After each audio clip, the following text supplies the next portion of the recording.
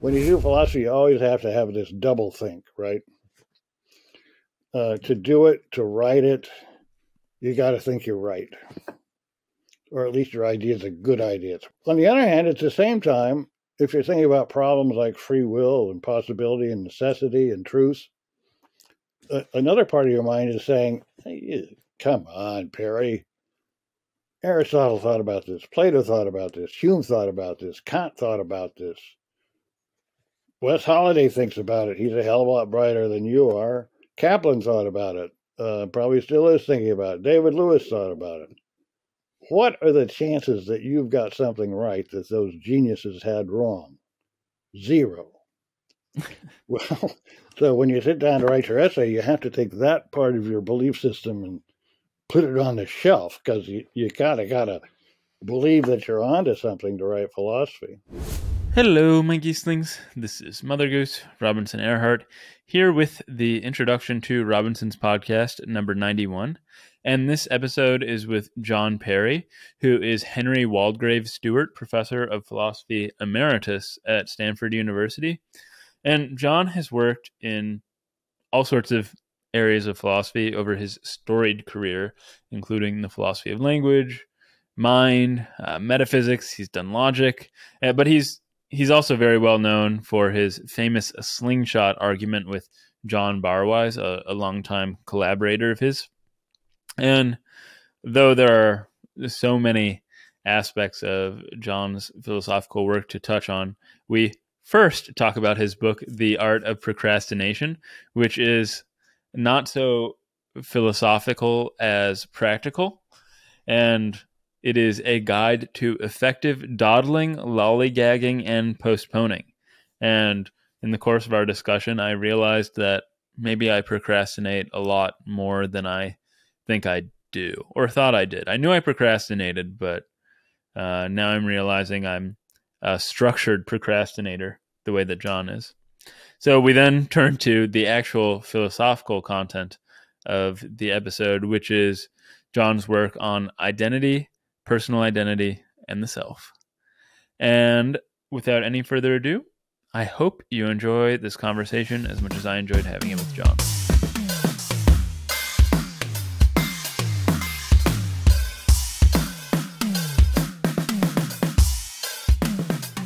I was surprised in preparing for our conversation to discover that you're not only an esteemed philosopher who's contributed to many areas of the discipline, but also a humor writer and as something of an anti-productivity guru, if I could uh, call you that.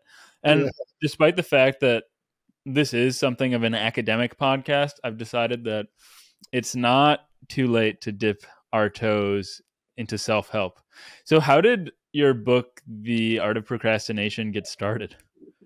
Well, it was. Um, I didn't exactly plan to write a book. I was just uh, uh, in in a in a place I had to work uh, study um, one afternoon years ago at Stanford, and I had uh, papers to grade. I think the dean wanted me to write a memo about something. I don't know. Probably I was chairman of something. I almost always was. and I was sitting there and and uh, not doing any of it, doing crossword puzzles. And it occurred to me, you know, what? Why am why am I doing this? I mean, uh, what what a complete procrastinator I am. This is shameful.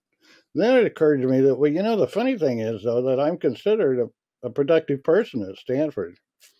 I'm considered a go-to person. That's why they keep appointing me to chair things and shit like that. so it, it seemed like kind of a puzzle. So rather than do anything, any of the things I was supposed to do, I thought about the puzzle, and uh, came up with the concept of structured procrastination, which is um, uh, if you're a procrastinator, you don't need to be a complete loser. All you have to do is figure out that you should get things you, you should you should procrastinate the most important thing you have to do by doing less important things and that, uh, oddly enough, that seemed to be what I do all my life, and um, seems to work out pretty well. Of course, occasionally you have to give up and do the thing you're supposed to do, but you know, nine times out of ten, it disappears. The dean dies or gets interested in something else, or uh, anyway. So I wrote a short essay about it and showed it to a couple of friends, and one of them, without my permission, sent it somewhere. I forget where. Uh, maybe some uh, hmm, I don't know, some some academic place, and so that was that. Then a couple of years later, uh, I won the Ig Nobel Prize. And what is that? I, this is what I saw. I saw this for the first time in your book. Yeah. Well, I like I like to say it's just like the Nobel Prize, but doesn't pay as much. But the Ig Nobel Prize is a is a prize for for um, how does the guy put it? Uh, uh, something that's funny but still makes a contribution. Basically, I don't know. I can't even remember the guy's name, but it's it's a it's an ongoing thing, and there's Ig Nobel Prize winners, and it's it doesn't pay any money at all, but there there is a there is a thing back at Harvard where they award the Ig Nobel Prize. Unfortunately, I couldn't make it. And then out of nowhere, I got a letter from a, uh, an agent, a New York agent. Now, if you're in California and you're a writer, New York agent is kind of ooh, you know. Yeah. And uh, a guy named Barney Karpfinger and he says, I read your Ig Nobel Prize winning uh, essay. I think it's great. You should turn it into a short book and I'll get it published for you. Well, I couldn't resist that. So I turned it into a short book and he got it published at Workman, which is, you know, not an academic publisher, a popular publisher. And it, it sold very well. It was uh, on the New York Times bestseller list, not top 10, but top 20 for a couple weeks. That's pretty cool. It was cool. I made enough money to help send my. I have ten grandchildren. Helps send send some of them through college. So. Oh, that's awesome. Have but, you heard of Microcosmographia Academica? Uh, no.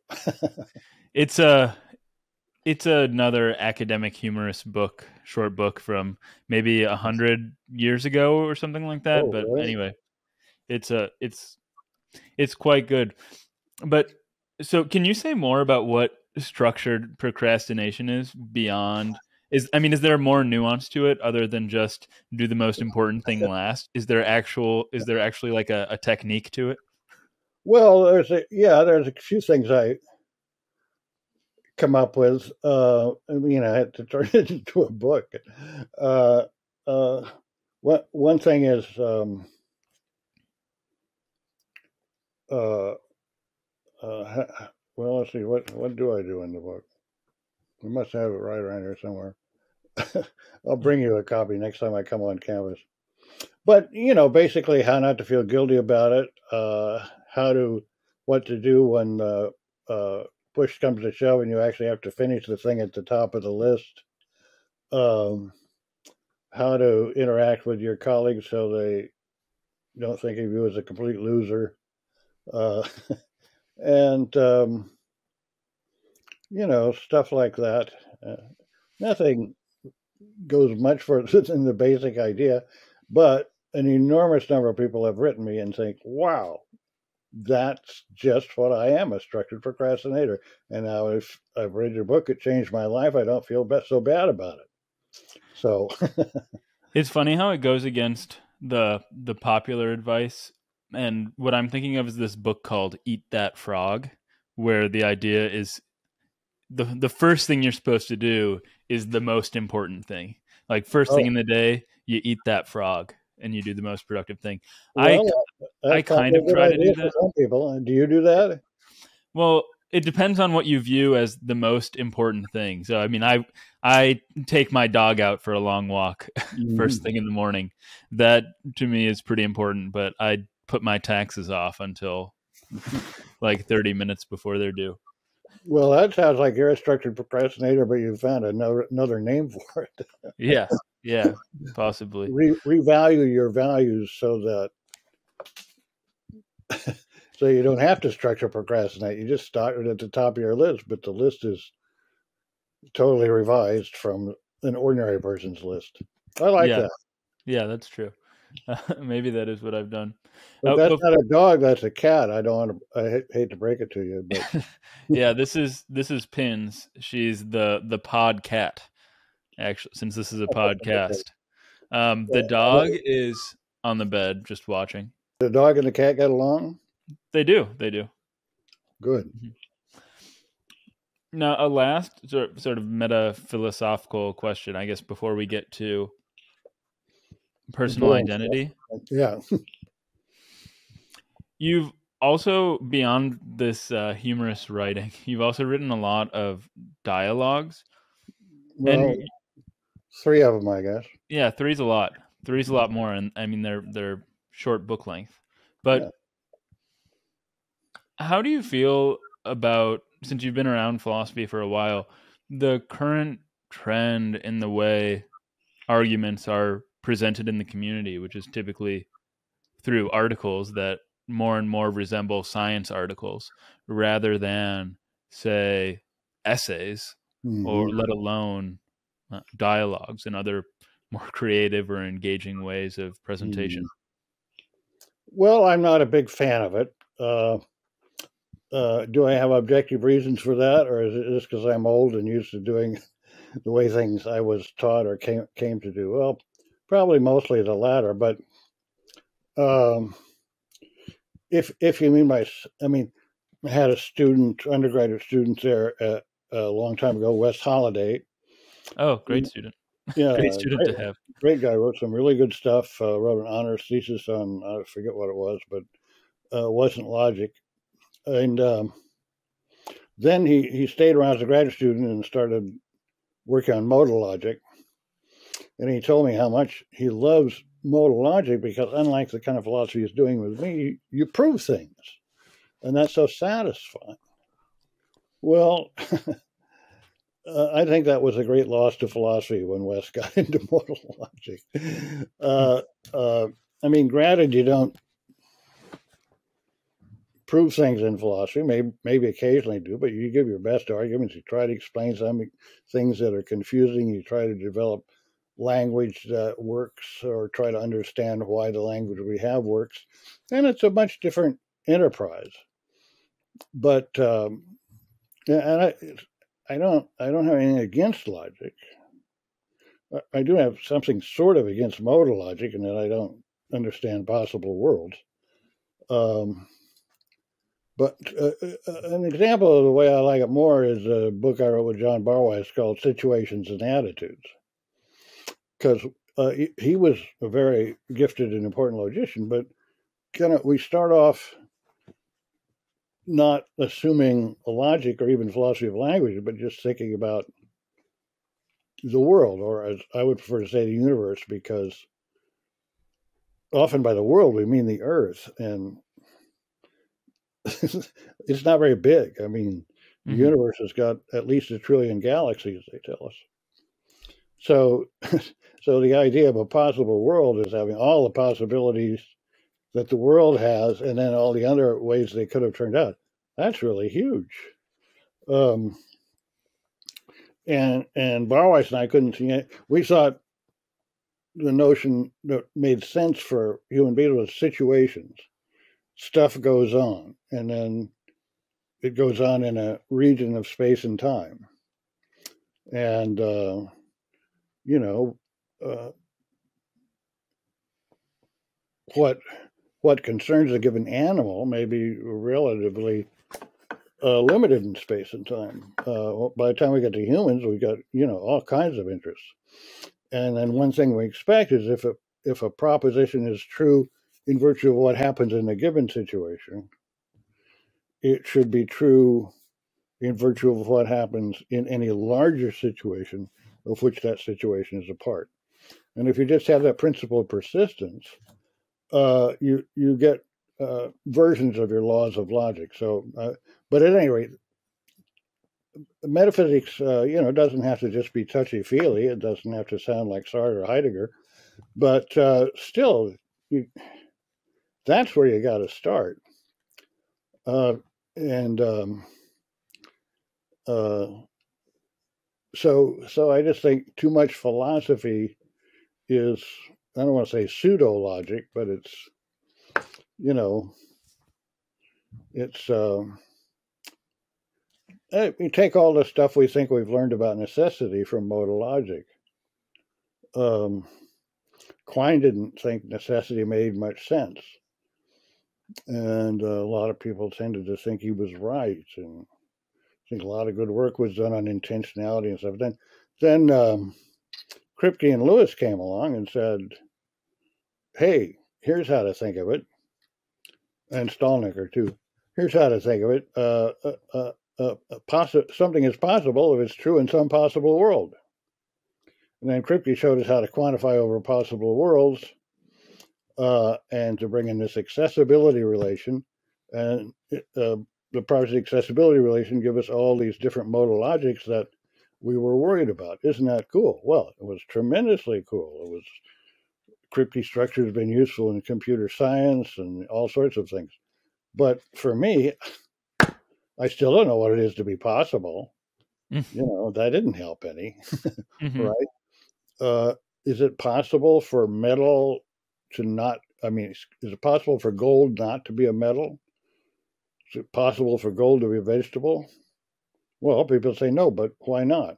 Oh, well, because there's no possible world in which it happens. Well, shit, that doesn't help at all.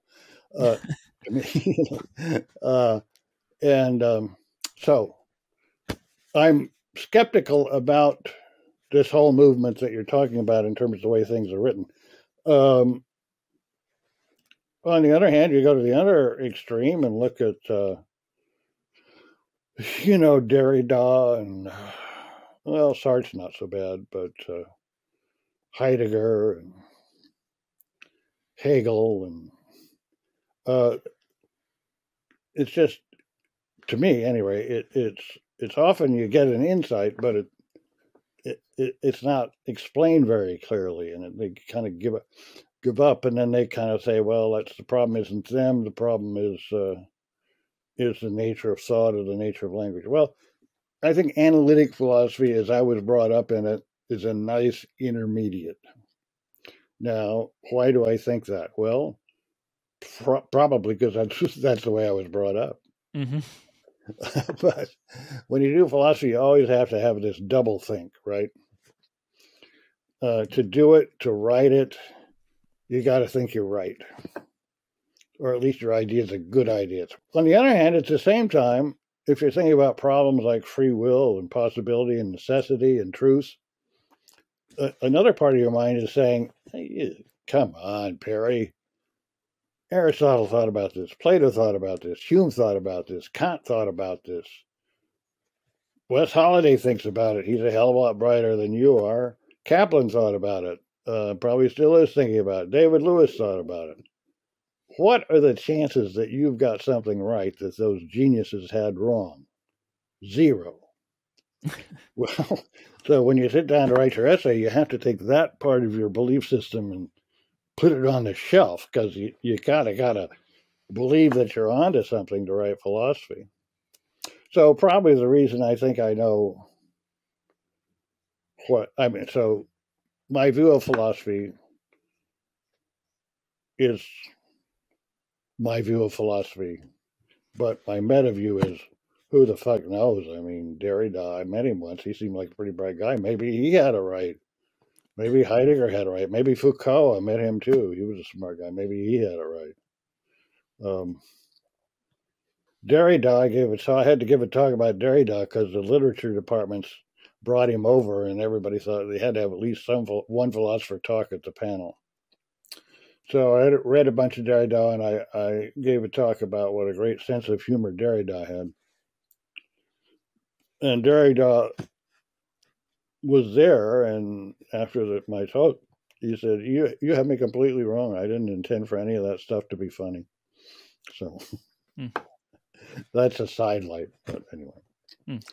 So anyway, yeah. So I'm not real happy with the. Um, I, I mean, the biggest. I mean, when I was a graduate student, 1964 to 68, about the time your grandparents were born, probably. Uh, you know, if you were a serious graduate student, you had a topic, you know, like identity, or you could really read every article of a more or less analytical type that was written in that area in the major journals and even most of the minor journals. Um, you could do it. There, were, there weren't that many articles and very few books compared to now written. And like when I uh, when I got uh, tenure at UCLA, I, I had just published two articles. Wow. wow. And um, and then I got an offer from Stanford and moved here, same two articles. Um, now, you know, with with the uh, birth of the computer, I guess that's you know it's just totally different, right? I mean, uh, what what's your dissertation going to be about? No idea at this point. Okay, well, whatever it's about, you'll just have so much to read. Mm-hmm. And uh, you know, if you don't read my structured procrastination book, you'll never be able to. uh, I'll move that to the top of the list. yeah, put that at the top of the list. Well, if you put it at the top of the list, you won't read it for a long time. So it'll be a paradox, right? Mm-hmm. So, um, so it, it's all changed, and uh, when I when I became chairman at Stanford in about 1974, I guess, you know, computers were already not personal computers, but uh, you know, DEC 20s. And so people are using to use computers, and it was all changing. And in the humanities at Stanford, they expected you to write a book to get tenure. And I really had to put my foot down to say, well, that's not the way it is in philosophy. We don't expect people to write books. Maybe never at all, but certainly not in the first 10 years or so of their, you know, uh, trying to, uh, you know, that's just silly. And, you know, so I put my foot down and we got some people tenure, but, but now it's really just all changed. Mm-hmm. You'll write your dissertation. You'll have to read an enormous amount to write your dissertation. Uh, just because so many articles are being written about any everything, and then they'll expect you to turn it into a book if you're, you know, at Stanford now, you, you know, you're supposed to have a book and a number of articles. Mm-hmm. Uh, so, no, I like it the way it used to be. Hmm. Well, speaking of books, books uh, I'd yeah. like I'd like to turn to identity, personal identity, and the self. Mm-hmm. And in a hundred or so conversations on the podcast, this is actually, I think, the first time that personal identity has come up. So maybe we should start with just what exactly the philosophical problem is that needs to be addressed here. Is it um, is it something like the nexus of questions? Am I my body? Am I a mind that can be transported into other bodies? Uh, just what happens to me when I die, or are these questions something that come after the the general problem of of personal identity? Well, um, how do you think of the the problem in general? I guess. Well, first there's the general problem of identity, and uh, people have been screwing around with that since Heraclitus, at least. Heraclitus says you can't step in the same river river twice because new waters are ever rushing in. uh, and uh, you know you got to so so identity itself is already puzzling because you, you you you got you got some well first terminologically in english you got to be careful because when i use the term identity i mean identity is just one thing i don't mean similarity so maybe maybe your friends will look at your apartment and say wow i i i want to get the same apartment i want one identical to this well, that's English, but that's in philosophy. Well, I just use the word identity for just one thing because it got the word similarity for other things. So, uh, so, so then the principle said, well, if A is identical with B, they have the same properties. Well, that's, that seems pretty likely. But then, if the river has the property, if the river I stepped in yesterday has the property of uh, having, you know, some dirty water in it, and by today that water's passed on, and the river I step in is full of clean water, um, I guess it can't be the same river because uh, the river I step in today has a property the river I stepped in yesterday didn't have. Well, that's bullshit. That's just because you're playing around with tense. Uh, if the river I stepped in yesterday had water in it yesterday and it's identical with the river I stepped in today, then the river I stepped in today had water in it yesterday, had dirty water in it yesterday. Just as long as you pay attention to the tense, there's not a problem. Mm-hmm. Uh, moral, comparing this was what I said about Frege time has been a problem for philosophers since Heraclitus through to the present. And, uh, uh, you know, Heraclitus was already letting logic lead his metaphysics. Um, and logic plus a reluctance to think about time, a continuing theme in philosophy. So, what was my point? So, you suppose suppose you got a good theory of identity. Then the next thing you worry about is, well, look, I mean, the number seven is identical with the number two plus five, right? Uh, the um, the highway you get on if you come off the Golden Gate Bridge and bear right, Pacific Coast Highway One, is the same highway that you can get on by um, going out. I don't know. highway. What's the highway that goes there from here? Highway 580 or something like that. So, so you, you know, and it's the same highway that goes through uh,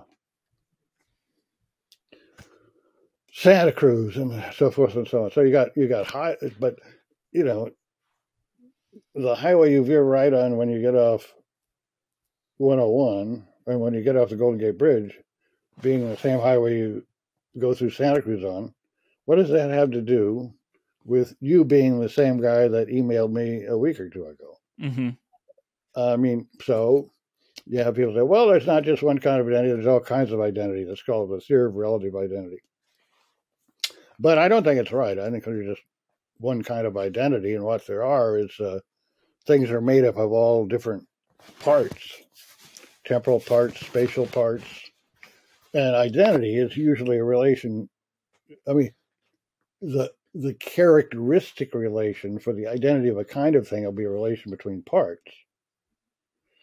So, so, so you got to be fairly clear about identity, or you're just going to get totally screwed with. Yeah, yeah, absolutely. Okay, so, so now, so what? So, okay, in the case of personal identity, so, first, what are the relevant parts? And we'll put parts in quotation marks. Well, I mean, uh,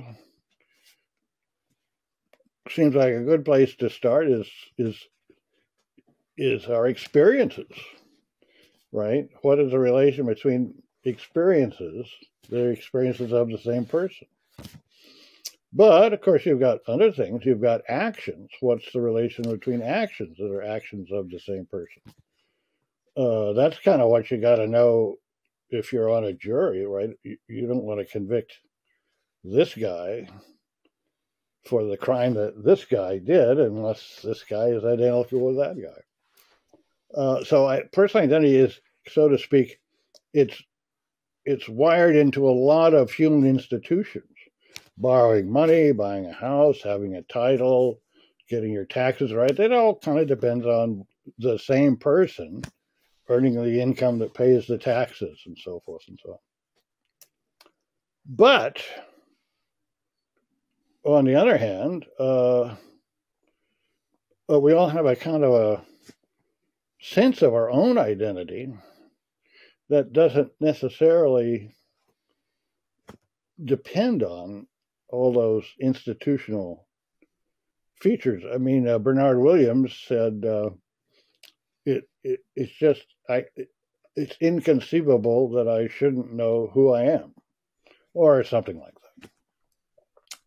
Then, in terms of the history of philosophy, particularly Western philosophy, the additional problem is that the notion of personal identity is built into Christianity. Oh, really? Well, yeah. I mean, Where heaven, does that happen? heaven and hell, right? It's uh, it's you know, if if God wants to punish you for all of these uh, podcasts that you've made that he doesn't approve of, Yeah, he's, there are probably many of them. he's got a problem because on, on, on the Christian view, you will arrive in he- you will arrive at the pearly gates without a body. Right. I see. Okay, the that's time- really interesting. All the criteria we use on Earth to, for personal identity are, are bodily. Yeah.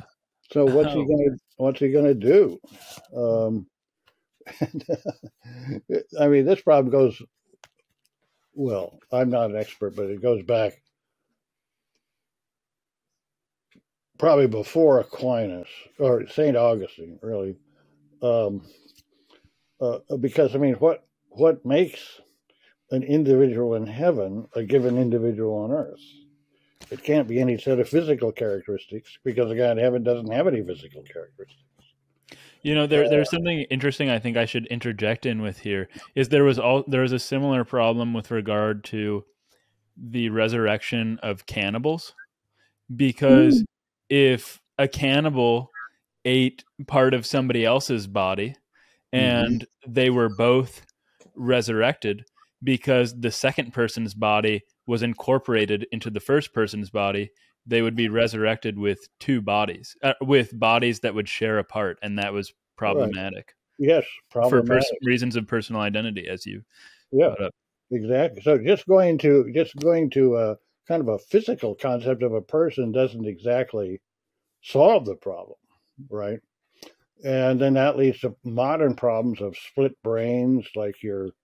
Let's see. Do you know um, McGuthrie, the graduate student, um Mike McGuthrie? He's working on that for his dissertation. no i don't know that name but i do know about the split brains Yeah. So so personal identity has a history that is connected with religion and you know other religions have the same not the same problem but different problems. I mean a lot of eastern religions don't really believe in a retention of personal identity uh, in an afterlife. You become part of the one or something like that. So so if you're going to write about personal identity, uh, you kind of got to say, well, am I trying to justify something that will work for Christianity? And, you know, my answer was no. uh, I'm trying to understand a little bit what would lead to the things they said about persons. But uh, so there's there's just a bunch of problems about personal identity, but um, in, intuitively they kind of come down to.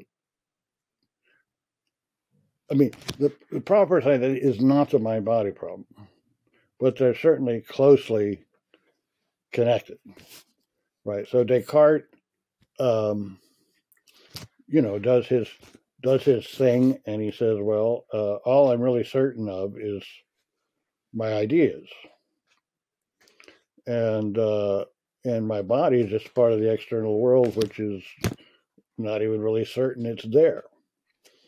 Uh, on the other hand, he does he's not skeptical about personal identity at least as I remember that. It, he doesn't say, well, you know, how do I even know that I'm the same person writing Meditation 5 that was writing Meditation 1?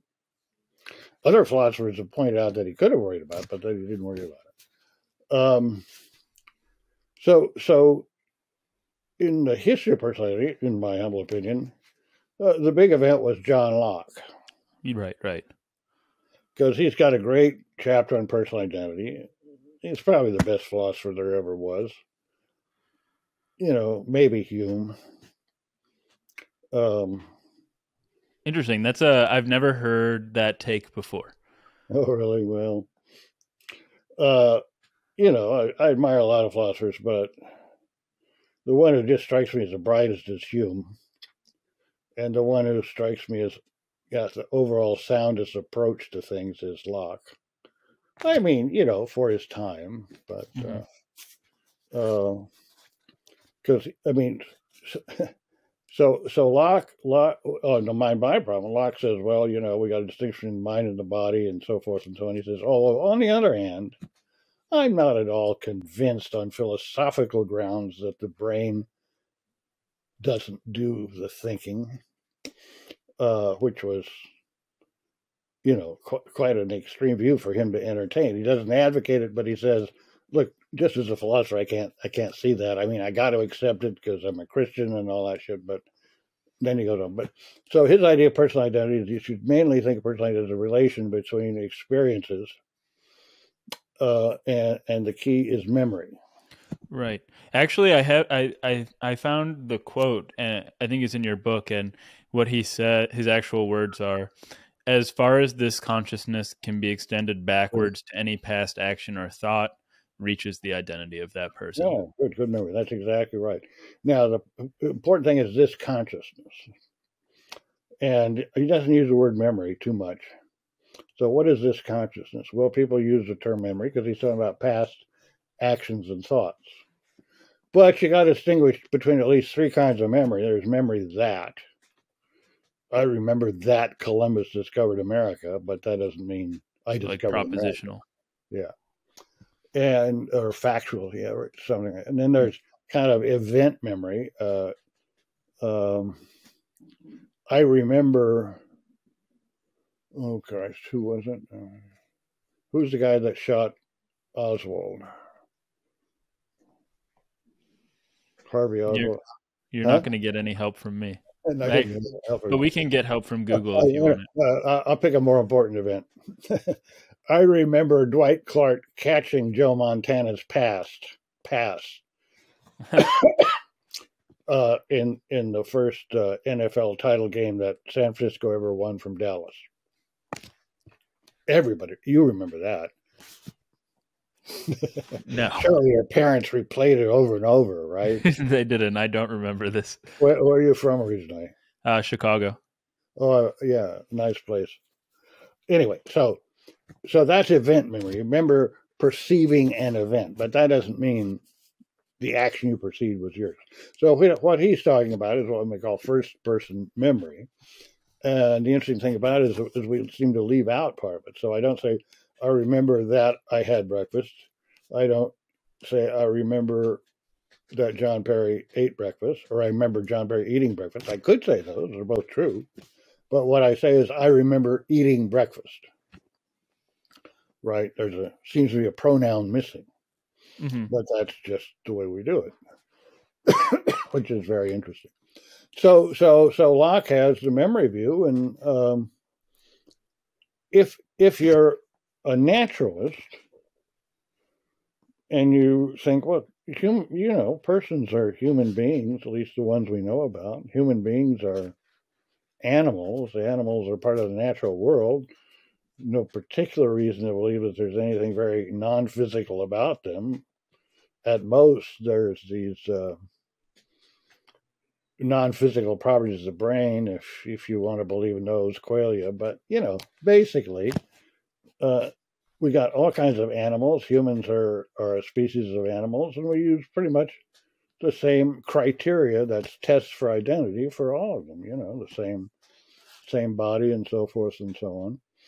Uh, so if you're a naturalist, you don't want to get too far away from that. But on the other hand, uh,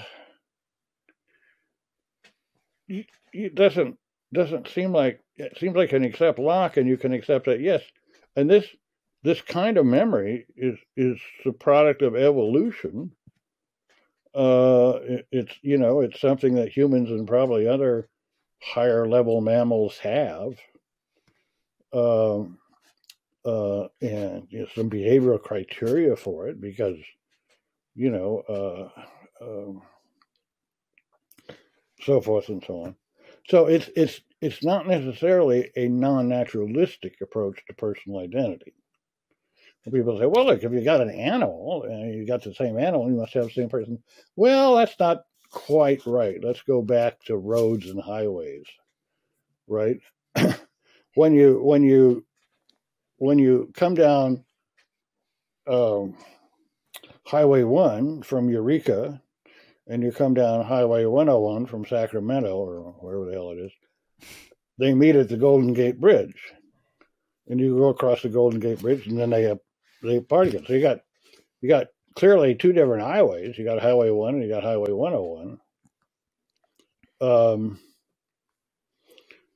the taxes from the state go for Highway 1, the taxes from the federal government go for Highway 101, because uh, one's a federal highway, one's a state highway. Uh, on the other hand, uh, they seem to share this part. Uh, so is is the part that goes over the Golden Gate Bridge is that two highways occupying the same space, or is it something else. so the point is that even you say highways are physical, roads are physical, state highways are physical, uh, national highways are physical. So that ought to solve all the problems, but it doesn't. Right? There's there's other things that are um, built in and so forth and so I'm just it's gambling on anyway. So so Locke's theory and some contemporary philosophers who've added to that Sidney Shoemaker and and Grice. I know that you you mentioned Grice. Grice, yeah, Grice came up. so Grice was uh, a student, I guess, at Oxford, yeah, and um, he published one article pretty early in life. So that was on personal identity, and then he got um, he, he he got drafted into World War II Oh. Along I thought you were going to say he got drafted into the philosophy of language. well, kind of. That after he got back from World War II, he kind of got drafted into philosophy of language. Hmm.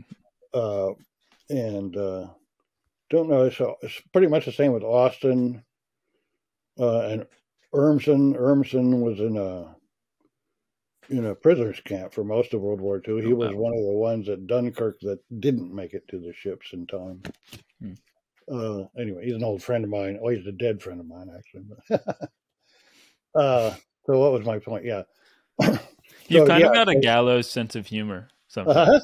You kind of have a gallows sense of humor. Yeah, I suppose. So, so, so Grice, um, uh, Grice had this uh, incredibly important um, paper, or series of papers, uh, you know, about um, the philosophy of language and uh, pragmatics. But his the first paper he published that most people didn't know about it until I included in that anthology was this paper on personal identity that tries to take Locke's theory and sort of logically reconstruct it in terms of uh, concepts from logic like equivalence relation and so forth. I don't quite remember what Locke said and what I interpreted him as saying, but anyway, it was it was a very nice uh, thing, and I got the idea that uh, uh, to get Locke right, you had to you know to make Locke plausible, you had to put some conditions on this relation between uh, extending of consciousness, as he puts it, or first person memory it it should be it it should be uh, it probably shouldn't be transitive right? Uh, somebody showed that i don't know butler or one of those guys. So uh, suppose we'll just take you you're in chicago you go for a vacation to minnesota you and your brother go out and steal some raspberries you get caught. right. Very traumatic event in your life. Mm-hmm. Uh, then you know, 15 years later, you you're in some war or other, uh, hate to think, but you didn't serve in Afghanistan, did you? No, God, I did not. thank God. So let's suppose though you're in Afghanistan, you do something heroic. Uh, and as as you're doing that heroic thing, you think, God, I've turned into a pretty good guy. I'm a hero. I'm saving all these people. I do remember stealing raspberries, which was a sin, but so so the hero and the raspberry stealer, same person Mm-hmm. because first person memory. Uh, then, you know, 50 years later, 60 years later, or 40 years later, you're a general getting senile. And you're sitting in your rocking chair remembering your heroic deed. But by then, you can't remember stealing the raspberries. Yeah. So, so this relation isn't transitive. Right. Um, but that doesn't mean personal identity isn't transitive. A is the same person as B if there is an event such that A did it and B remembers it, or if there is a sequence of events such that each member of the sequence each yeah remembers the previous one but you don't require that the first one require Right. But they're both part of the sequence. yeah but then you know you can think of examples well that's not going to quite work because you know you you have to uh, allow that it's the same as if a has a first person memory of this earlier person stage's actions. And uh C, who's beyond A, also has a memory of this earlier person's actions, but A doesn't.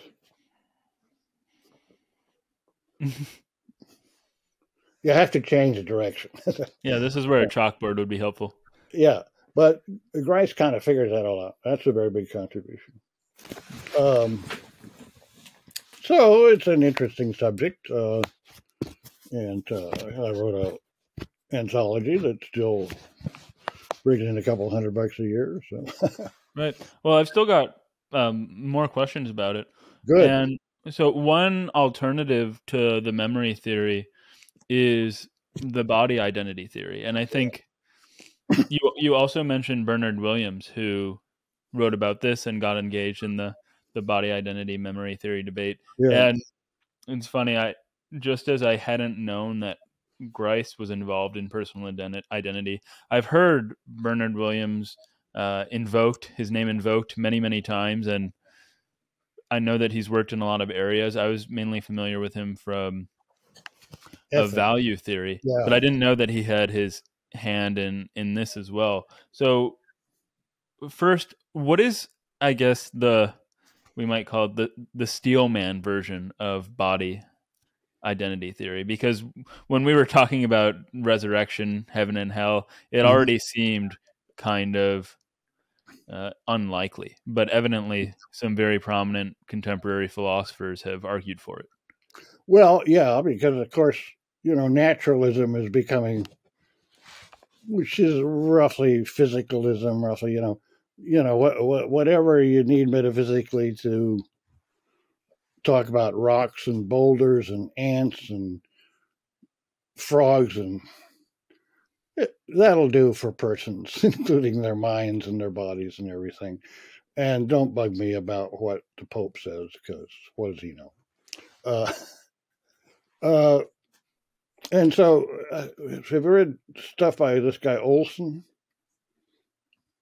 He's a he's a big name in personal identity now, and I haven't actually read his book. On the other hand, I have bought it. So, uh, That's a start. But Is it he- at the top of your list or the bottom of your list? I guess reading it must be really important because uh, I've had the book for five years and haven't gotten around to it. um, I did That's read a high, little, high praise for him.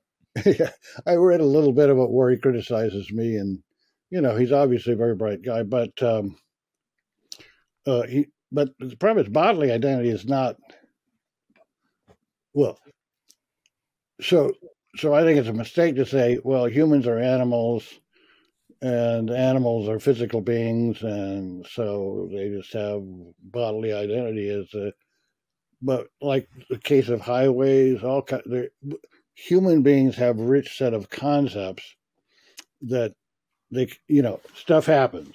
We have concepts. We use it to describe the stuff that happens. It's not a simple relationship right?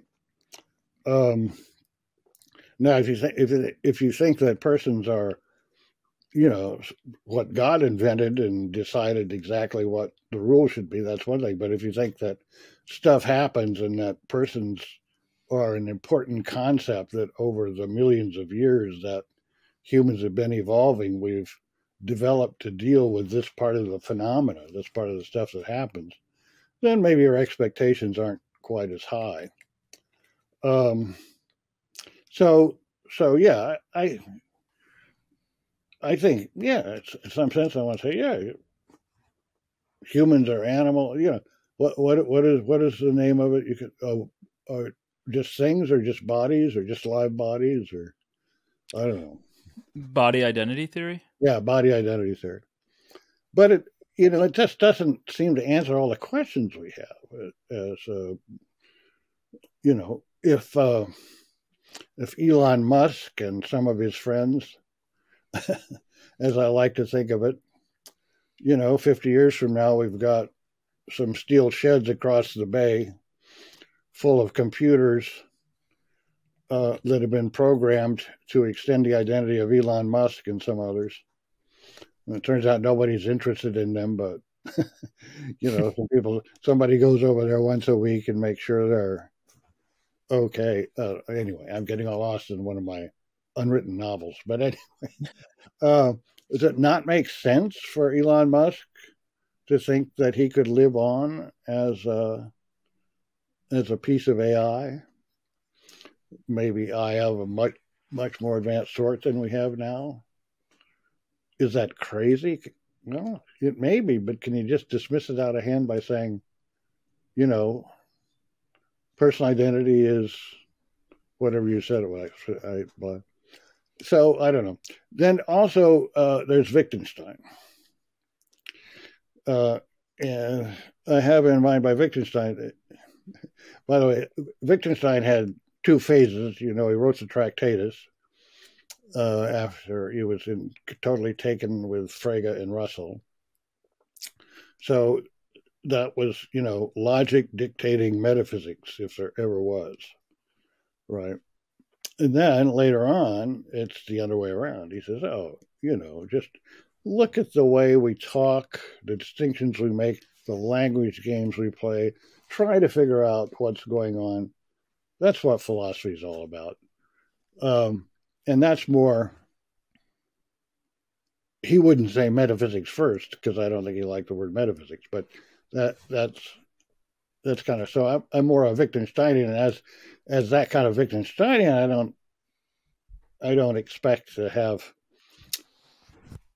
knockdown proofs with little squares and diamonds and existential quantifiers to disprove people like Olson.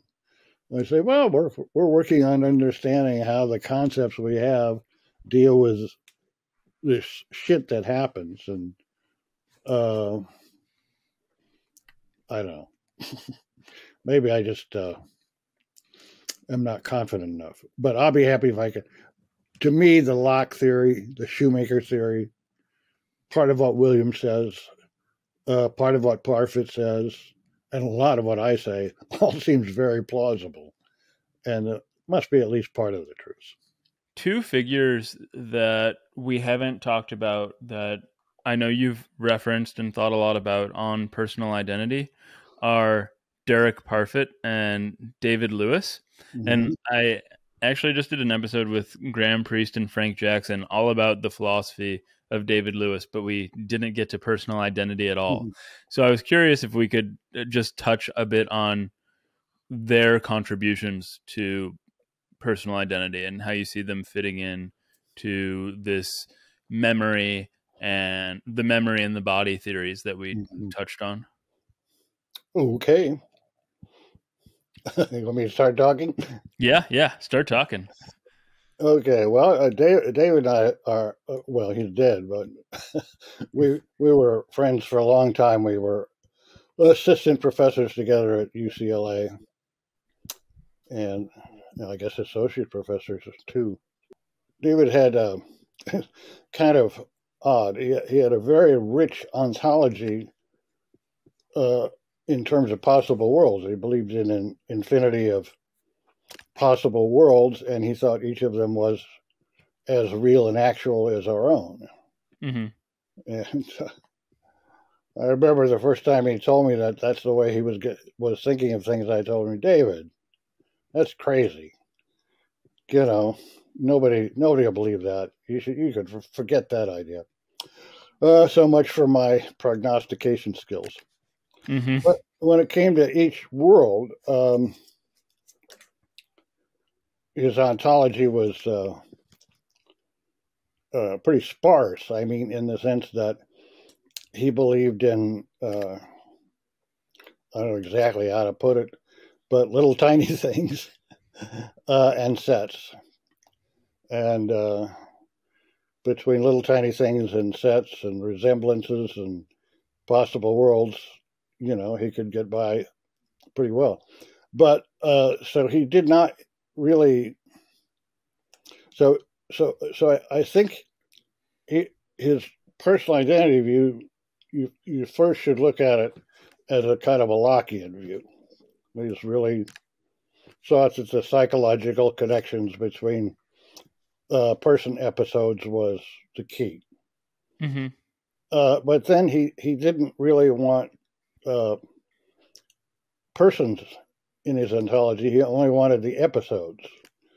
So kind of he thought of each episode as a a person, uh, and then the way we talked was we just kind of treated them as if they were the same if they had this psychological relation. Now I may not have that quite right. It's a long time ago. Uh, I wrote a paper on it a year or two ago, uh, so I don't think that's too far off. But an episode is just uh, an instance or or a segment of psychological connectedness. Well, it's what I, what I would call a person's stage. It's um, you know, you just I think of person stages as perfectly okay entities, but I think uh, a person is made up of person stages. Um, that doesn't mean a person is a set of person stages any more than a highway is a set of mile long stretches. It just, I mean, that's that's my view. Now, Parfit, um, Parfit came up with what he thought was a good counterexample to the Locke Shoemaker psychological view, a case of splitting persons. You know, you have a some kind of brain operation where you I, I don't remember his exact example, but you separate the two halves of the brain and transplant them in different bodies that are short of a brain and then you get two people that have an equal claim on being the original person with the brain and and he thought well that you know you, whatever answer you get you get a paradox but there's still nothing terribly mysterious going on as long as you realize that it's it's not persons and identity that are important, but person stages and the psychological relation. Mm-hmm. So it's rather similar to Lewis's in that way. Um, and uh, uh, then he, you know, he had a lot of good ideas in his person in his book, uh, Reasons and Persons. Is a very very perceptive fellow.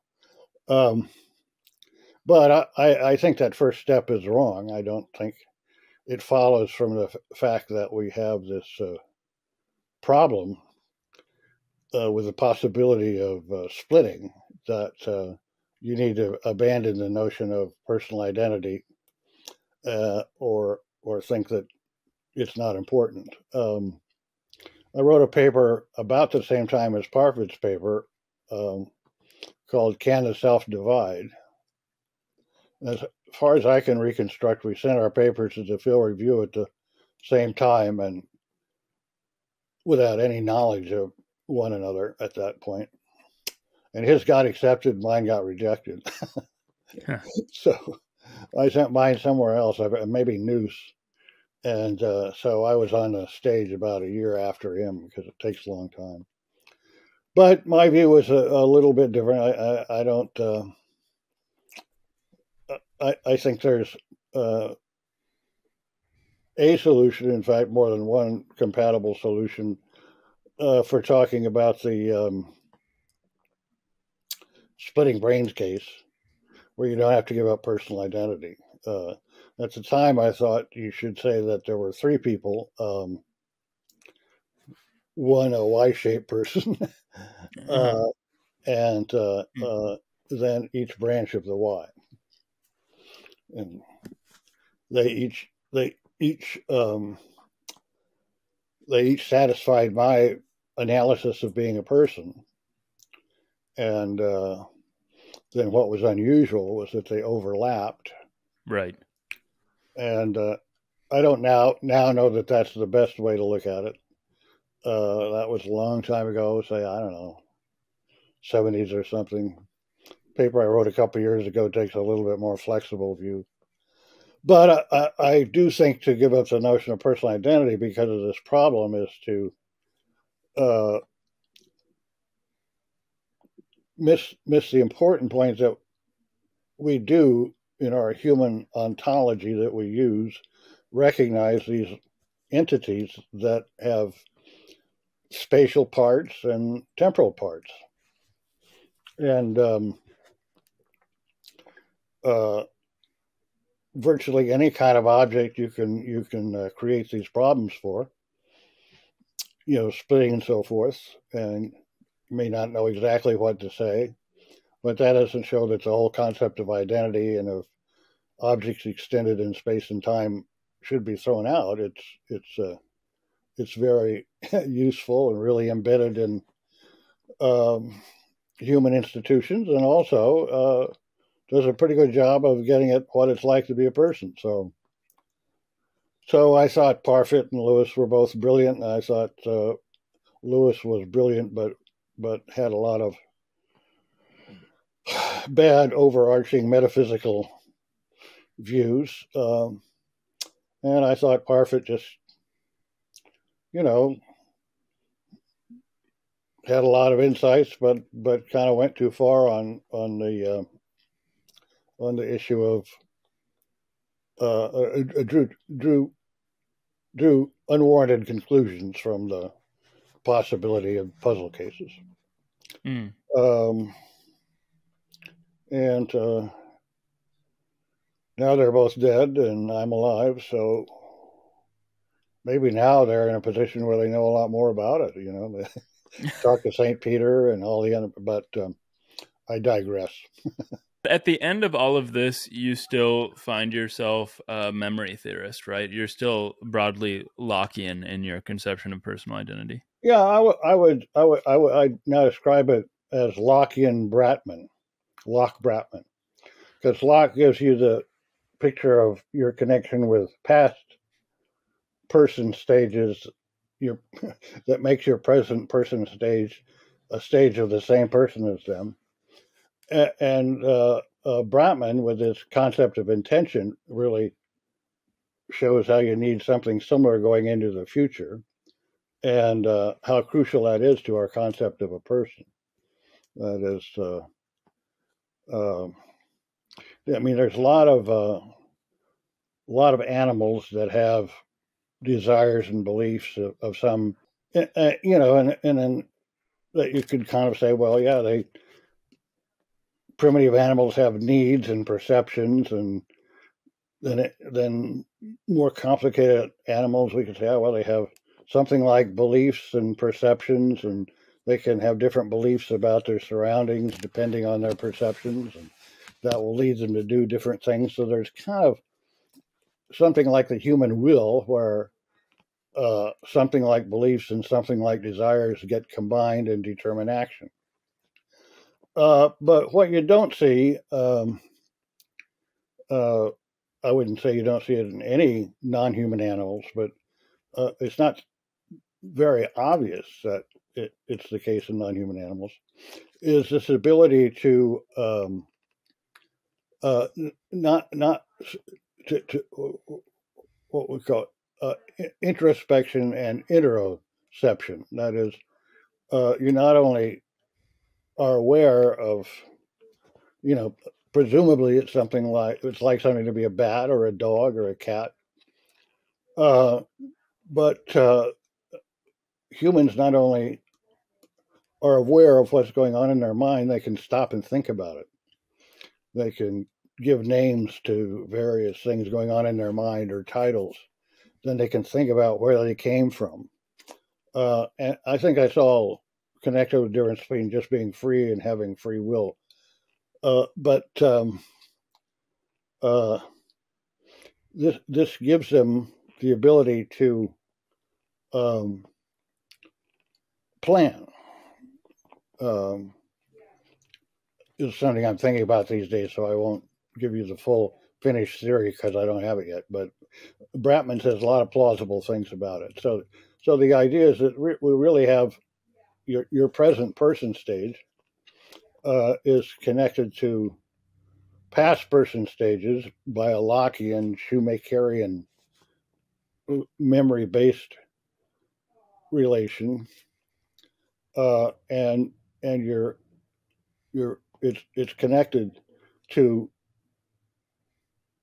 future person stages, which is a bit misleading because they don't exist yet. but uh, they will, you know, and they will be formed as a result of uh, your present intentions and plans. And, you know, so so forming an intention and planning is really a way of influencing what you're going to do in the future, but but what comes with it is is kind of a a, a, a commitment to certain values and things. That's the way I'm looking at it, but I haven't quite figured out. But so I I think of it as the Locke Bratman view of persons. um, and I, I think that pleases Bratman. So, and is it the Locke Bratman view of personal identity or of person? So I, I like I I think you've answered a lot of this question that I already had, but maybe we can make it more explicit. But I I guess I I think of my cat here in my lap, mm-hmm. and I want to say that she probably has some self, some sense of self. Yeah. But at the same time, despite my love for this cat, I also don't want to say that she's a person. Yet right. I wonder to what extent. I mean, is this just out of linguistic habit? Uh, because I also think of person as like a cognate of people or mm-hmm. or synonymous yeah. with human. But how does this idea of personal identity uh, fit in with personhood so as to exclude uh, my cat from being a person? well, okay, let's think about it. So, so first, we want to make sure we are distinguished between uh, unity relations and identity. Okay. Uh, grab your cat's tail. I can uh, find it. I found it. Now, now grab her head. no, with a different hand. Well, different yeah, hand. Yeah, well, you can imagine doing it. Anyway, so, so, so now you've got you've got a cat with this head and a cat with this tail. Mm-hmm. Uh, that's not it. What's the relation between the tail and the head? Well, they're not identical. Mm-hmm. Uh, and uh, you know, in a philosophical seminar, we might bring a box and a couple of cats to make the point that you know you can have a Frege problem, right? You can uh, you can be thinking about this cat, the one you're holding the head of, and this cat, the one you're holding the tail of, but not realize that it's the same cat. Mm. But your cat's tail and your cat's head have have a relation. They're connected by cat stuff. yeah, um, a lot of it and that means that the cat you refer to with the cat with this head and the cat you refer to with the cat with this tail are identical. Okay, and so the difference between different kinds of things uh, that have very different standards or criteria of identity. It's not different identity relations, according to me at least, but different unity relations. And what's what personal identity theorists are disagreeing about uh, is the unity relation. Uh, and um, and the unity relations, you know, there's a temporal unity relation and a physical, spatial, physical, right? Physical. Now, do we need to bring in do we need to bring in memory or anything like that to get at the the cat unity relation through time, or is it just enough that there are phases? If we if we have a fairly rich concept of animal bodies through time, mm-hmm. and if we've got the same cat body, don't we have the same cat? Do we really need to worry about you know memory and intention? Well, I don't know. I suspect we don't need to, but it might be useful for certain kinds of cases that philosophers can probably dream up involving, you know, cat brain transplants and maybe, you know, first first you create a super cat that has a lot more brain than the average cat and I don't know. Uh but but being a person uh, involves, well, seems to involve being a human being. Well, what do we say about human beings that really don't have the brain power to do the ordinary things? Well, uh, most of the ones that have working brains at all uh, have memory and a certain amount of anticipation. I mean, autism, things like that. They don't they don't lead to anything that would destroy application of the unity relation for personal identity through time. But uh, um, we can imagine, and or or now take children. Children um, remember things. I think from day one in some extended sense of re- remember. Right. I mean, uh, a newborn will treat very quickly treat its mother different than other things. Um, but do they have a rich enough memory to really plug in this whole Locke Shoemaker idea? I don't know. But uh, so I, maybe the children aren't really persons yet. Uh, you know Michael Tooley? I don't. Okay, well, he's a great philosopher. Uh, so it's a Nobel Prize in philosophy. He should get it. Him or Dan Dennett. But uh, um, where is he? Uh, Tooley's in Colorado now. He was at Stanford when I got here. Matter of fact, I think uh, uh, they were able to hire me because they decided to fire him, mm. which seemed to me at the time a terrible mistake. yeah, what did you have to do to get fired from a philosophy department in the in in that time? Well, uh, at that time, the department didn't give tenure very often. I see. Uh, when I got here in 19, whatever it was, 73, I think the last person who'd been promoted from the ranks to get tenure was David Nivison, and that had been, I don't know, 15, 20 years before. In the meantime, they had uh, really not given tenure to some superb philosophers, including Michael Tooley, uh, but also uh, logician specializing in probability, whose name I can't quite remember, but he went on to Princeton and was very famous.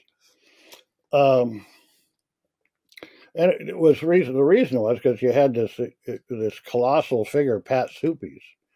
You know Pat Suppes, so Pat Suppes was had come to the department and a tremendously brilliant person with a very powerful personality and um, uh, so he just, you know, he didn't get enthused about people very easily. Mm. Uh, and then you had Julius Moravcsik, who was much uh, more um, like a normal philosopher, but uh, didn't have as much influence as Pat.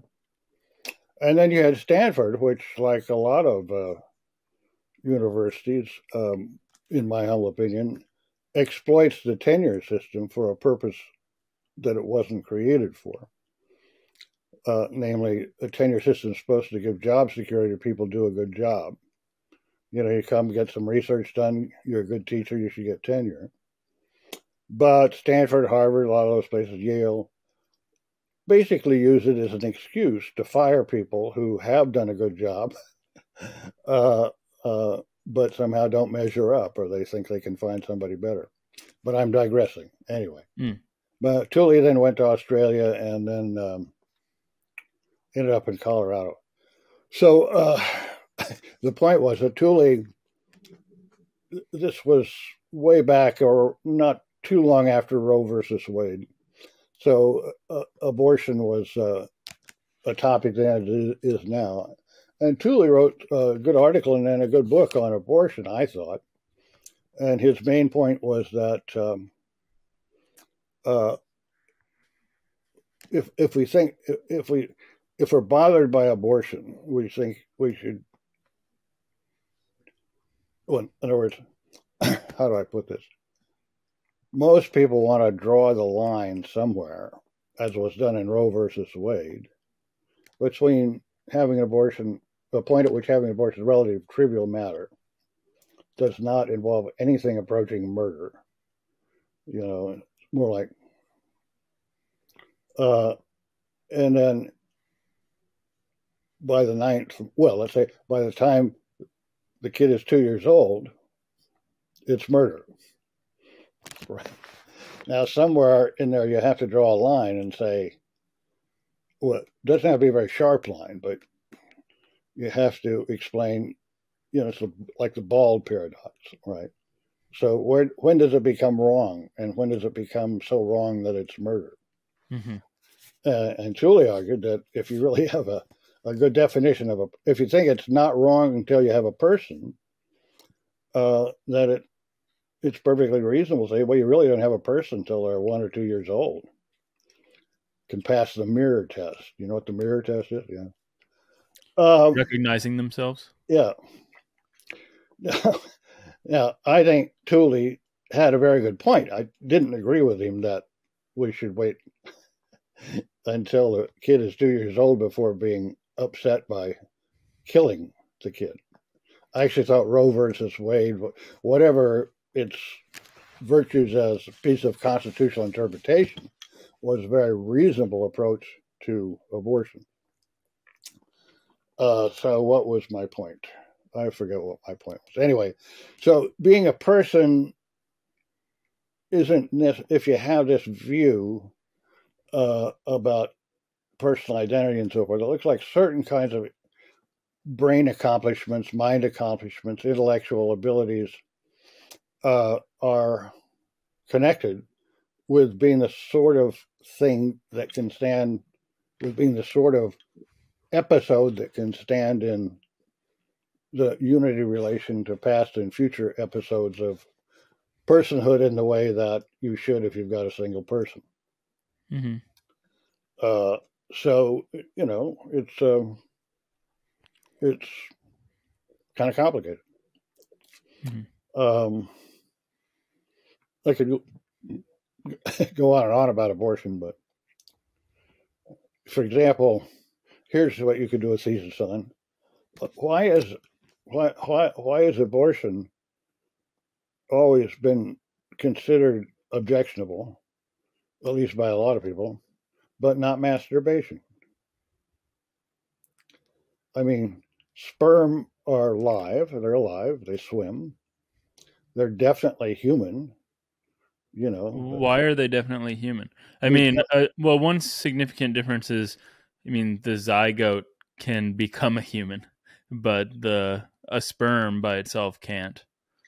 Yeah but that's not the explanation because long before they realized that they i mean i basically mean the catholic church uh, when they thought that kind of since the sperm came from the male it must be where the soul is they still didn't object to masturbation, even though there is a line in the Bible that says you shouldn't spill your seed on the ground. Hmm. So you can draw the line between a sperm and a zygote, but it's just it's not to me not overwhelmingly Right. obvious that that's where you should draw the Right. line. Uh, and I thought Roe Roe versus Wade did a pretty good job, but I think we're digressing from the main thing you wanted to explore, and getting into things I have strong but not very scholarly opinions about. You're you're welcome to explore those uh, opinions on the podcast as anyway. much as you like. And so I actually I actually think uh, Tooley's uh, stuff on abortion uh, didn't help him in the in the ten year battle at Stanford. Hmm. I you know it was over by the time I got here, so I can't really say, but Sure. it's uh, a, a kind of a, a defense of infanticide is not probably the best way Yeah, to get to tenure. get tenure at a university uh, uh, whose biggest building is a church. Yeah, you've got to wait until you have tenure for that. yeah. Right. So anyway, so anyway, that's how I think of personal identity. I don't claim to have it all figured out, but uh, Yeah. I ha- I don't I can't think of a view that I think is more plausible than mine. Um, but mine is very complicated, and maybe there should be a s- simpler theory of what a person is. Uh, hmm I don't know. Are there? So I was going to ask about uh, the relationship between personal identity and ethics, and then also these this cluster of metaphysical questions and questions of vagueness that you got into with regard to uh, when persons come into existence. But there are there any substantively uh, different questions or ethical considerations that are related to when a person goes out of existence. So naturally, when they die. when they die, right? Well, uh, of course, difference of opinion on that is one reason that personal identity became so important to philosophers, or or rather the the opinion which I don't share that uh, when we when our physical bodies die, we continue existing as persons in heaven or hell. Uh, that view Right. medieval philosophers saw a lot of problems with and uh, argued a lot about it, said some very intelligent things. Um, but uh, uh, but the ethics of it is, I mean, I don't know. Um, it, it's no matter how bad a person is, it doesn't. I mean, so so Strawson, Peter Strawson, uh, had a lot of interesting things to say, but his son Galen Strawson uh, has, I think, even more plausible things to say, including some pretty good criticisms of his father. But uh, the idea of heaven and hell, that you know, you've got people at the end of their um, uh, physical life either deserve to go to someplace wonderful or some, someplace horrible uh, seems like a bad idea. Now, I'm not sure which real philosophers ever really held that. I mean, I don't know, Aquinas or those, who knows. But Dante surely did. And um, then you say, oh, well, the Catholic Church has, a, has an intermediate stage. I forget what they call it. Do you remember? No. Oh, uh, limbo. Limbo, yeah, limbo. So I don't know. May, maybe uh, it, it would have. I would have thought a better idea on God's part would have just have everybody come to the same place, but treat them different uh, in a, in a way that's more measured and responsive to exactly how good or how bad they are.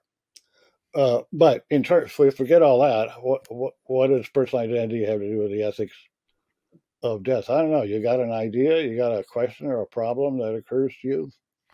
No, it just occurred to me while reading uh, your book. I mean, I guess I what I had in mind were considerations that would take us somewhat far afield uh, from the line of discussion we've been following, and I was just thinking about why it is that Yeah, something that is a person. Well, you don't want to kick a person, but you can kick a rock. right. And and according to to some of us, it's it's okay to to to kill a one day old zygote, but uh, no, I mean one place it comes up is with Alzheimer's and things that even are more destructive of the brain. So often, by the time a, a person dies physically or a human being dies physically, they've lost the mental capacities that are kind of definitive or at least paradigmatic of being a person. hmm And uh, and and so is it is it immoral to well start, start is it immoral to help someone who is in that state or approaching that state to commit suicide? Uh, well, there's differences of opinion on that. hmm Uh, is is it is killing a person late in stages of Alzheimer's um, murder? Murder in an unqualified sense, murder in some kind of footnoted sense where it's not so bad. Those are interesting issues, which I haven't thought that much about, hmm uh, but for which I think a, a good account of personality would would be would be helpful. Um, you ever Do know anybody with Alzheimer's? Not Alzheimer's. My grandmother had a pretty serious cognitive decline and dementia, but not Alzheimer's. Well, my father had Alzheimer's, and the, and the funny thing was that, uh, well, there's there's three stages there. When you're getting it, and everybody's noticing and kind of convincing you that it's happening, and that's pretty miserable. And then there's a stage when you're when you're into it, when you have it, uh, and then there's a stage at the end when you have a painful death. Now, the intermediate stage, as far as I can tell, is very bad. It's very hard on the the relatives of the and friends and loved ones of the person who has Alzheimer's. But for the person with Alzheimer's, it's not so bad. My father was, um, we, we finally had to put him in a home, and he enjoyed the home. I mean, he, he was a World War II veteran and uh, uh, uh, came to think that the home was a prison camp uh, run by some incredibly nice nurses. Okay. and he and and some of his fellow vets used to sneak down to the fence that went around the place and put uh, put notes under the fence saying we're being held prisoner in an Italian prisoner of war camp. But but on the whole, uh, so the point is, um, I don't know what the point. is. I never been able to quite make sense of that. I have a feeling, even though I think when if I when I get Alzheimer's, I won't be so miserable. I would just as soon not get it, and might well commit suicide if I thought it was coming. Hmm. Uh, but then I'd have to see what that would mean about insurance. And, uh, And it just becomes a an act of drudgery, huh? yeah, you might as well just hold on, admit that you're going to be hard on everyone for a while, and then die a painful death. Anyway. Anyway, but I'm sure a really good, perfect concept of personal identity with all the intentions and memories thought out might might be really helpful in considering that. Although I doubt very much if it would decide the issue. hmm But one philosophically, what issues ever get decided? one other thing that came to mind uh, while you were talking is I'm watching this television show called The Terror, and Oh, yeah, it's covering this uh, a horror version of this Arctic expedition in the mid 1800s, in which these ships were sort of locked in ice in the Mhm. Arctic, and then all of the men died. But they, it's a true story, and they had to they left and tried to march back uh, south uh, into Canada. Uh, but Yeah. they, they didn't make it. But anyway, they had to resort to cannibalism somewhere along the line Yeah, along the way, and that's an interesting problem in its own right. That's that's very much related to personal identity and and personhood yeah, because when you die, presumably you're not a person anymore, uh, or at least the the philosopher might think that you're no longer a person, but we'd still be very resistant to treating the person as just uh, meat that we desperately need in Yeah. this situation. Well, I I, I once met a guy uh, who had eaten someone. he was In a uh, situation like this, yeah, he was a pilot in a it, it was in Canada, northern part of Canada, and he had uh, been a pilot, still was a pilot. So he picked up a um a mother and her ill daughter to fly them to a hospital, you know, in the more civilized part of Canada. Uh, and the plane crashed, and the mother died. And then there was quite a long period. They didn't have any other food. And uh, eventually he did eat some, you know, some some flesh of the mother's. And he tried to get the daughter to do so. I, I, I can't quite remember whether he forced her to, but anyway, I think eventually he made it with the daughter to the hospital, so forth and so on.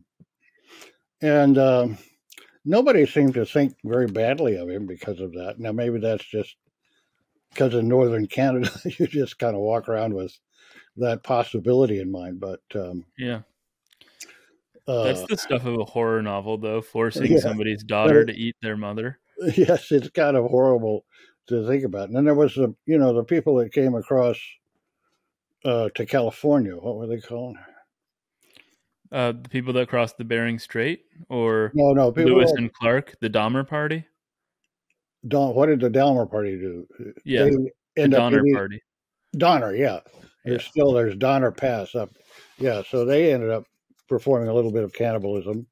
Uh, that uh, I guess didn't go over too well when they finally. I mean, I haven't looked into it historically. No, That sounds like an interesting uh, and depressing uh, thing to watch on TV. No, no, it's a it's a good show. I Yeah. watch it uh, in the morning when I'm walking the dog. Yeah, I wonder what Tucker Carlson would think of that. Yeah, yeah. You watch it when you're walking the dogs. You watch it on your phone or what? yeah, yeah, Oh, yeah. That's what I do. Oh, your generation. I see. hmm So the the last thing that I wanted to touch on before we finished is so we've talked about personal identity, we've talked about persons, and the last thing in in this holy trinity that comes to mind for me is the self. And what's the relationship between personal identity, personhood, and the self? Well, um, uh, so I'll just, I don't know exactly where to start, but uh, so, so all animals, matter of fact, any creature that is any cellular creature on Earth uh, does what some of us call harnessing information, which is a very simple idea.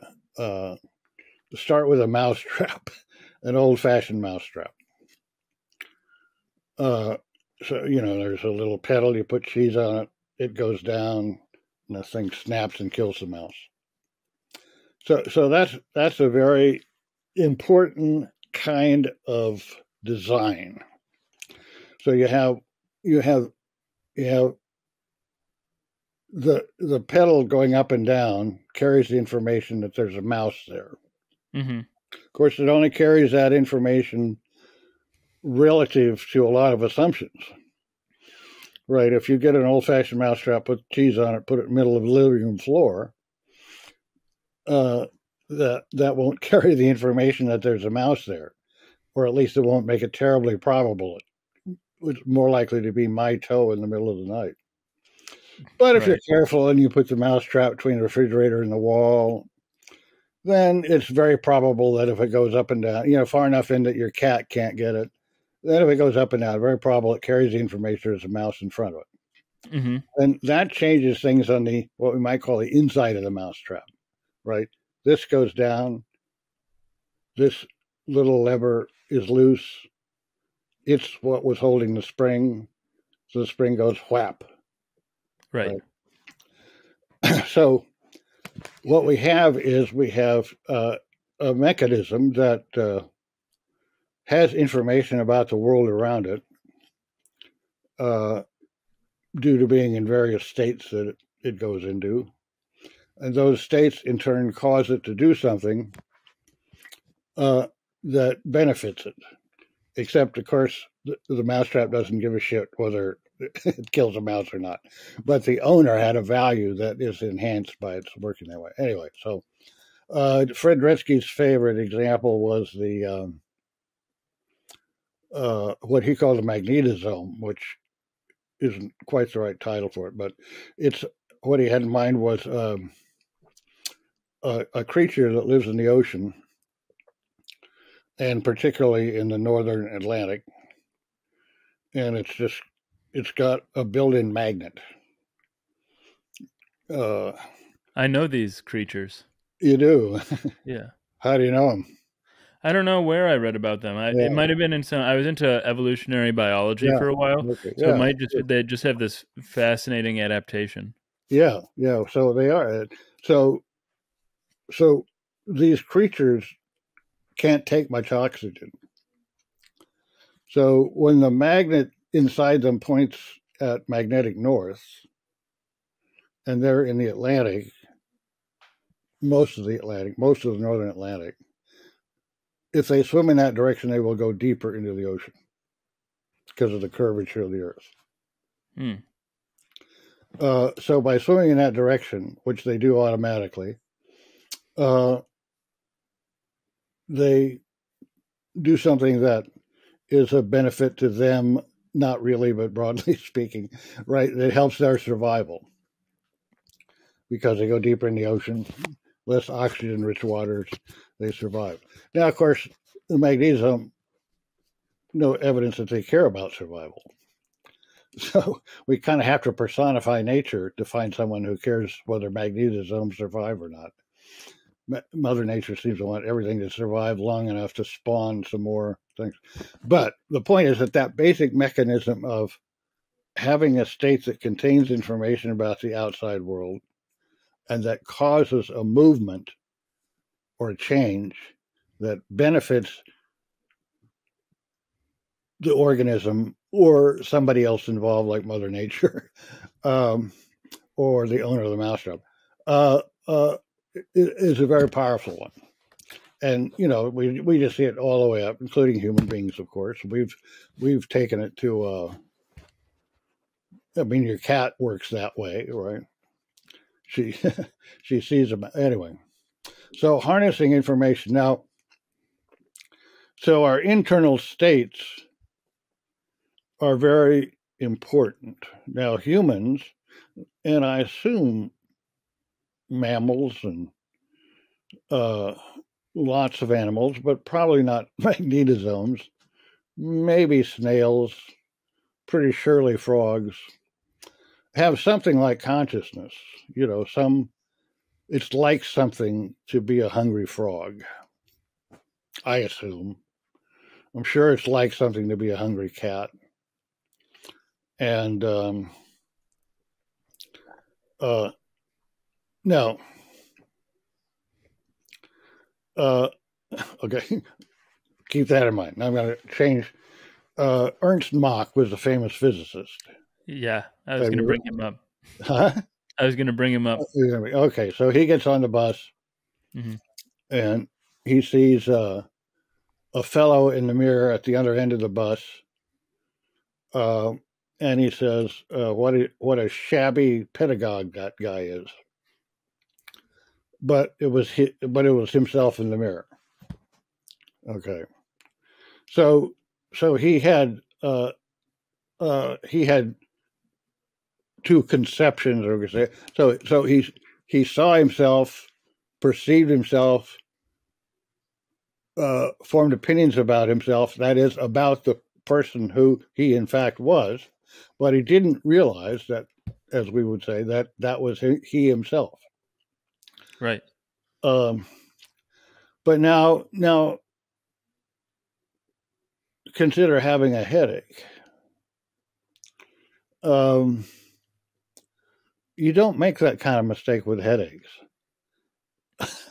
I mean, if you have a headache, you know whose headache it is. It's yours.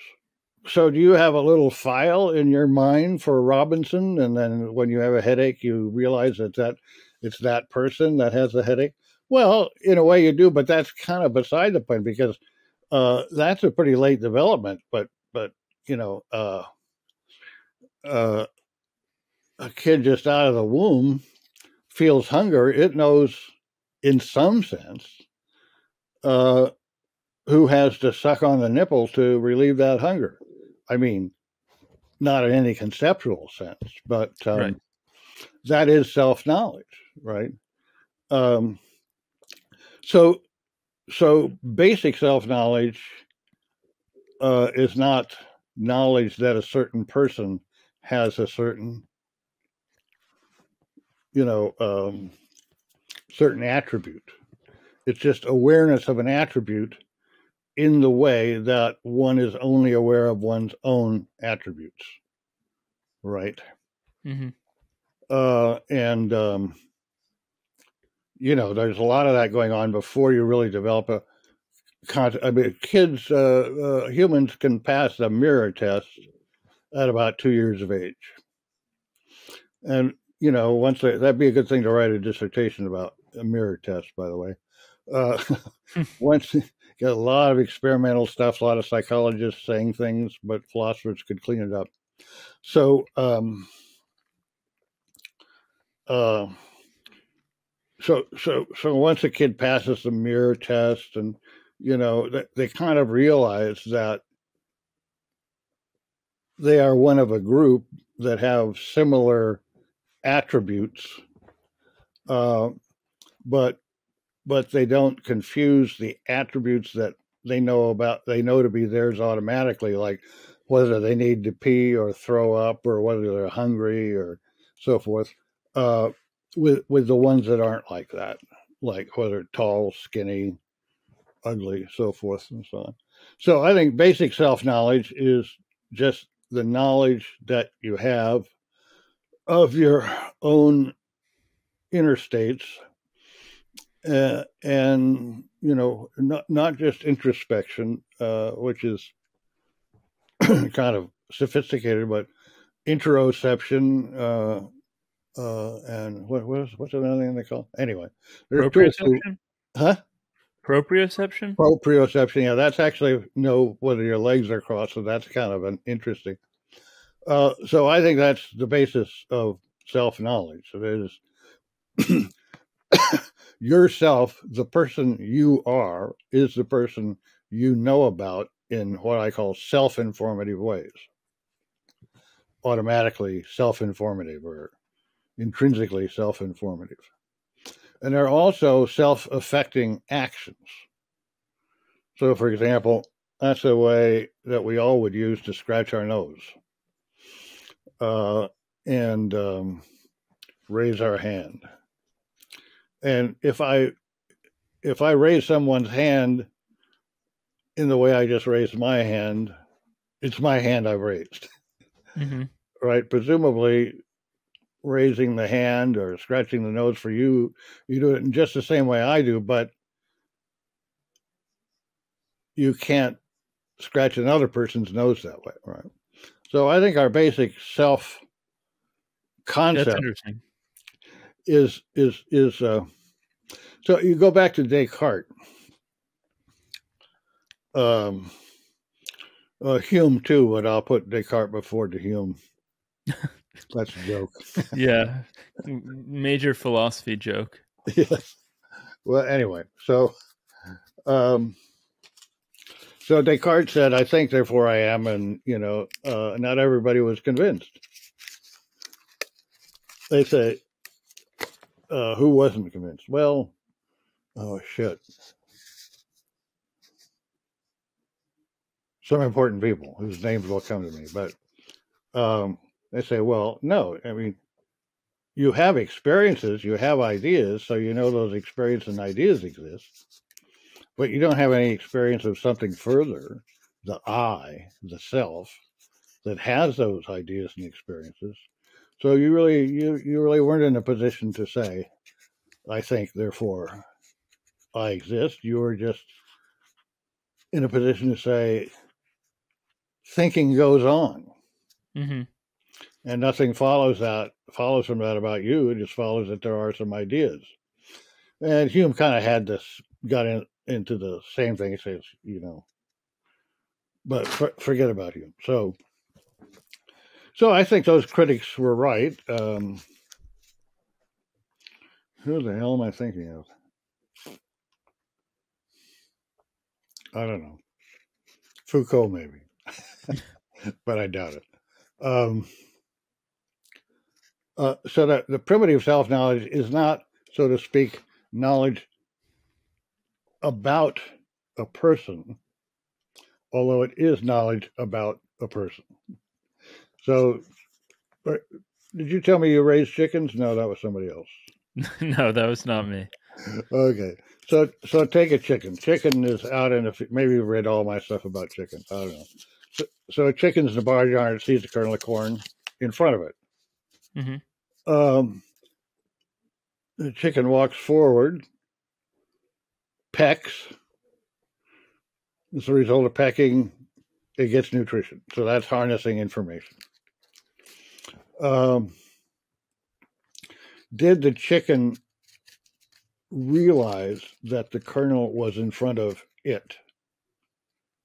Well, no, I would say. It just saw a kernel and it didn't need to know. Chickens don't pass the mirror test. It didn't need to realize. but we as theorists, when we look at the chicken, we, we need to say no, that each chicken knows. I mean, how do we explain the success of the chickens harnessing information? Well, we have to say the kernel that is in front of a given chicken is the same kernel that that same chicken will peck, and the chicken that gets nourished thereby is the same chicken that does the seeing and pecking. So we as theorists need the notion of chicken identity. But I should say hen. Why should I say I don't know. But but but but the hen doesn't really need it. And you know, they, in other words, they don't need to realize that they can think of themselves and the information they have of themselves in the same way they think of other chickens, right? A, a, a chicken will see another chicken, or a rooster will see a chicken with a kernel in front of it, and it will realize that that chicken has a kernel in front of it. And then it will look at the chicken, decide how big it is. If it's not too big, it'll go chase it away and eat the kernel itself.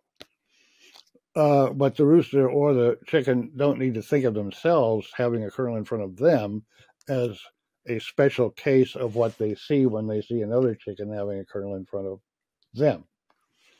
Uh, when do you start to need that? Well, you know, I don't know, somewhere before you go to graduate school in philosophy, I guess. Uh, Mhm. so self knowledge, it starts off with what I call primitive self knowledge. That is, primitive self knowledge, self affecting, self informative states, states that carry information about the very individual that has them, and self affecting actions. And the self affecting states lead to the self affecting actions. So our concept of a person grows out of that one, and and, and so so we we do have uh, you know eventually we do form something like a filing cabinet in our mind where we have little file folders for different things and different people. Just you know just uh, not a serious theory. I don't think we have manila folders in our heads, but uh, um, and, uh, and so and eventually we have one of those for ourselves, and we we put the stuff we pick up in self-informative ways in that file. But it's it's not required to be in a file to uh, to to to do important work. Uh, remember? Uh, well, I don't know if you would remember. Maybe you were too young, but George W. Bush uh, once gave a talk in um, in the Middle East during one of the wars he'd started, and uh, somebody threw a shoe at him, and uh, he he moved, and the shoe didn't hit him. Well, his his moving was not motivated by the belief that a shoe was coming at George Bush. Right. It was motivated by something like shoe coming. right. Um, so so we we we end up treating ourselves in the same way as other people in the sense that you know we have a I have a John Perry folder and you know it's full of things. I was born in Nebraska and own a 19 uh, uh, 2003 Kia or whatever the fuck it is and uh, but but that that self folder has a special relation uh, to me, the person that has it. it it's it's it's it's my self concept. So so that's that's how it connects up with the notion of the self. I don't know about personal identity. I mean, I mean, it. Uh, I mean, memory is one of the things what I call first person memory, and what Locke was talking about, only doesn't make it very clear. first person memory is a self informative, naturally self informative way of knowing about what happened to someone in the past. Uh, you know, if if I remember someone eating uh whatever that shit I eat, uh honey baked oats or something for for breakfast. Honey honey bunches of oats. Honey bunches of oats, right. I hope it's healthy because I kinda like it. So I remember eating honey bunches of oats. Uh, I might remember my wife eating honey bunches of oats. But um, the second thing is event memory. I remember seeing the event of her. The first is first person memory. So so there is a connection between the self and the very kinds of memory and also the kinds of anticipation or planning or intention. Uh, they all have this uh, selfless, I know self is the right word, but um, uh, uh, th- this kind of odd characteristic that, that that they are beliefs about a certain person, but they do not require us having anything in our mind that stands for that person, although eventually we will. Um, so yeah, there's a connection. I've never quite written that up, but now it always seems about right to me. So, so yeah, so self knowledge is um, is pretty unique, but I don't think unfathomable. Um, now, why do we care about ourselves more than other people? Well, lots of us don't, but there's a kind of a natural instinct uh, to be very moved by uh, pain that we see we're going to have, as opposed to pain that we see someone else is going to have. And then, I don't know, the philosophers I like, you know, Hume and uh, what's his name? Adam. Adam? No, who who was the economist? The guy invented Adam Smith. Adam, yeah. I get Bob Adams, Adam Smith, mm-hmm. Adam and Eve. At my age, it all just blurs into one. but anyway, uh, have have to do with that overcoming that thing, getting a sympathy that motivates you uh, to treat other people uh, uh with the prospect of pain. Uh, uh, you know, with as much or almost as much worry as you would if you were having the pain what there is to ethics more than that, I've never been able to quite figure out. But I'm not saying there isn't a lot more to it, but that's all Hume can find, so it's probably all I can find. Hmm. uh, plus, what Elder Strawson said, there are certain things that people do where we really resent them. Hmm. That seems important. But well, like like the younger Strawson says, you really going to justify punishing people with that thin a concept? Anyway, I digress. So anyway, mm. next question. Well, the the last thing that I wanted to talk about today is just a, I think a confused question, but a, a question that comes up a lot in ordinary discourse. And what I'm wondering is how you make philosophical sense of the question whether you could be someone else. Like I can make the sense of I can make sense of the idea of my brain being in someone else's body, mm-hmm. but could I really be uh, someone else? Yeah. Well, it's pretty clear we could imagine being someone else.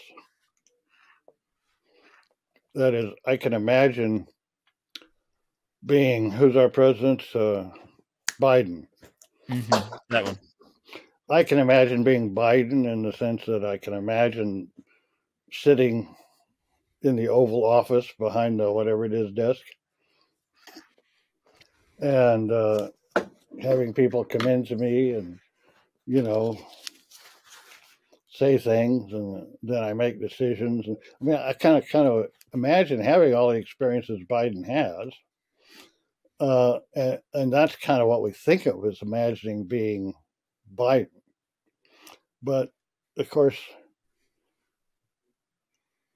is that really imagining a world, as David Lewis would put it, or a situation in which John Perry is Biden? Well, no. I mean, how would we do that? Well, it might be a lot more complicated. I mean, maybe, maybe, uh, maybe there's there was this guy called Biden, born in Delaware or Pennsylvania, wherever he was, and then at at some point he, uh, you know, uh, had a, a terrible nervous breakdown or you know what do they call it when you have two you know uh, schizophrenia. And um, so so you know go on and so so his folks decided the best way to handle it was uh, just set aside a couple hours a day in which he could be this other guy. And uh, so maybe one way or another that led to it. So you can imagine that other guy not realizing that he really is Biden. But I mean, that's that's not what. Can you really imagine? Can I can I imagine a situation in which uh, person A and person B, I mean, A is B and B is A. Well, uh, uh, I think Lewis thought you could. Kripke thought you couldn't. Um,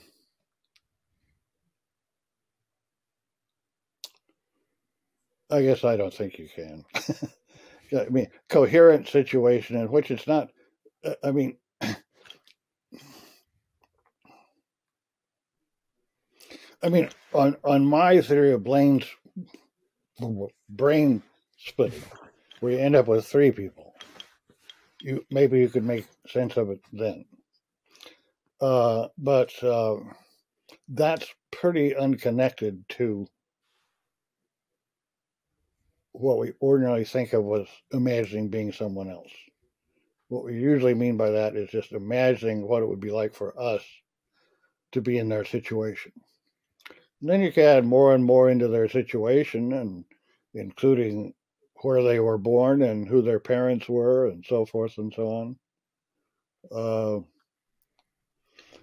uh, Kripke would say you can imagine having genes like the ones they had, but you really can't imagine having their genes because he thought the identity was in the genes. Hmm. Only if they're Levi's, though. Not not cheap. Mm.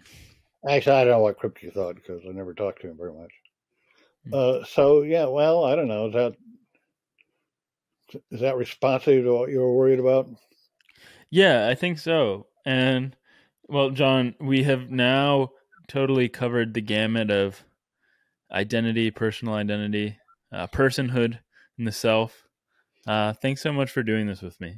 Okay, but we still got uh, semantics, pragmatics, logic.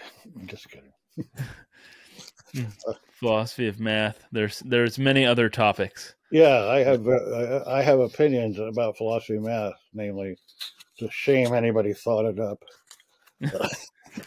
but they don't go much deeper than that. Mm. All right. Well, I enjoyed it thoroughly. I hope it was okay with you. Hold on, Geeslings. Before you go, please uh, like, subscribe, follow if you haven't already. Smash all those buttons. And also, if you haven't followed me on uh, Twitter at Robinson Erhardt, or if you're not joining me every morning as I eat my pint of ice cream on Twitch at Robinson Erhardt on Robinson Eats, please do so.